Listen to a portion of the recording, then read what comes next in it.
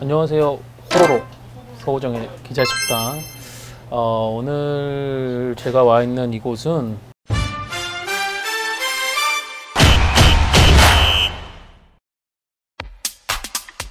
최강희 전 전북 감독의 별명으로 많이 알려진 지명이죠. 봉동읍 완주군 봉동읍에 위치한 우리국수라는 국수집에 와 있습니다. 여기는 메뉴가 딱 하나예요. 단일 메뉴 잔치국수.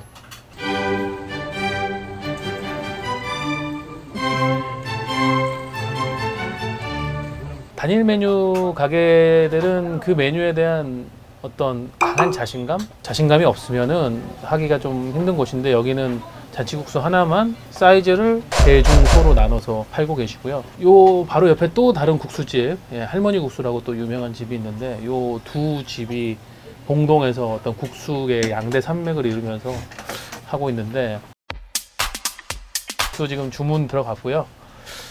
요 지금 저희가 있는 이 방은 VIP 룸. 예, 밖에는 이제 다 테이블에 앉으시는데 저희만 요렇게 딱 해가지고 하, 아까 전에 제가 대중소 세개 사이즈 있다고 했잖아요. 제가 뭘 시켰겠습니까, 여러분? 예, 그쵸. 예.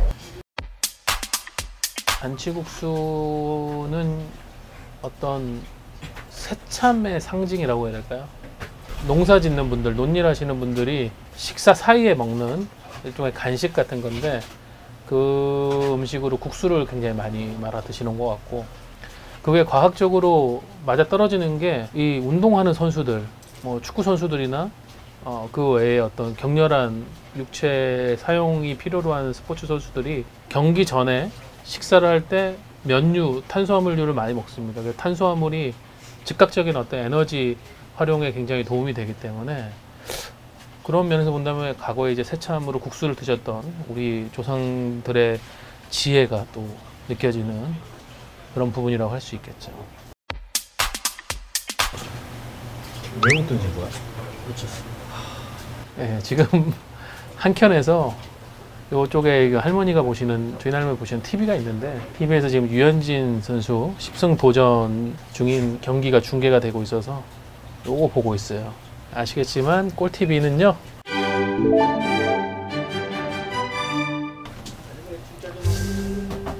대짜. 대짜 먹는 것도 도전이겠다.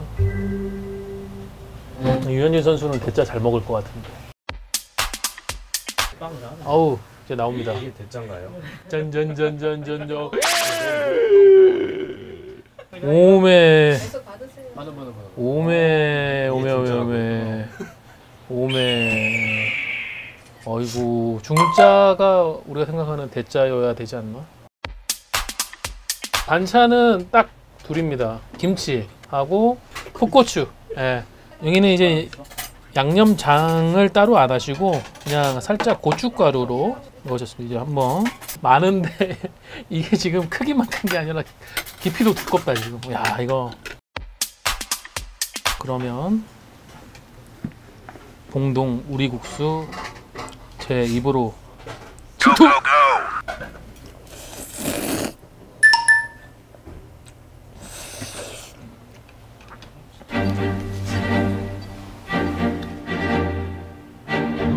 쉽지도 않고 너무 어려웠네 간이 굉장히 잘 돼 있어요 근데 약간 육수에서 씁쓸한 맛이 조금 납니다 예. 음. 아니, 또 이렇게 마셔보니까는 아유 육수 맛이 아주 김치도 이뭐 당연히 집에서 만드셨겠지만은 김치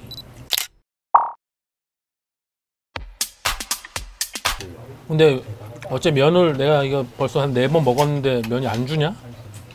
아 오늘 잔치국수와의 승부다 진짜.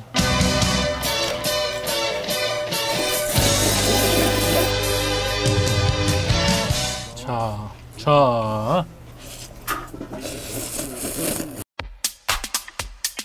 네, 여기가 이제 봉동 읍, 이 읍이에요. 바로 앞에 main street라고 할수 있는 그 농협이 있고, 예, 요 근처에 사실은 전북 선수들도 거의 여 근처에 논다고 하더라고요. 사거리인가 오거리인가 이디야 있는데 공동에서는 이디야가 스타벅스야.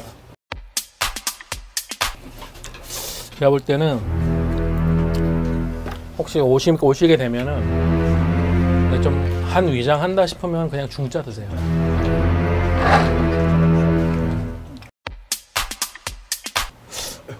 어떤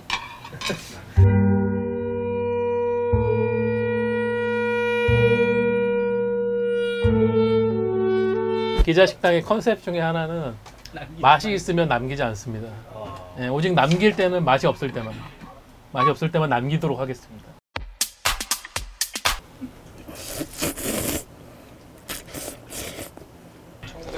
뭐 이후로 메이저리그니까 야, 기록이다. 면. 다 먹었습니다. 아, 난 승리나 이거. 인간 승리다 진짜. 아, 유현진 완봉급의 거의 버금가는 오늘 완료했습니다. 밥도 먹고 했으니까 아, 초대 손님 한번 걸어봐야겠다.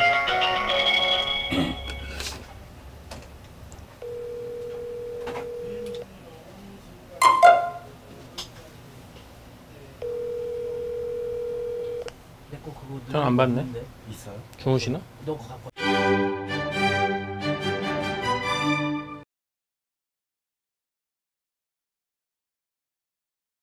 This is 오만이다. 꿀TV 삼행시 남기고 손흥민, 이재성 사인 국대 유니폼 받자. 슈퍼손 손흥민. 슈퍼son 이재성 구독자 5만 선물